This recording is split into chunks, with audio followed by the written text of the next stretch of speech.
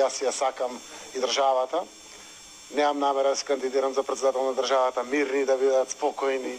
20 години сум во политиката, ќе ја помагам и ова и секој една влада. Имам легаси, имам наследство внатре. Големи одлуки донесовме. Сакам да успева мојот народ, сакам да успева државата.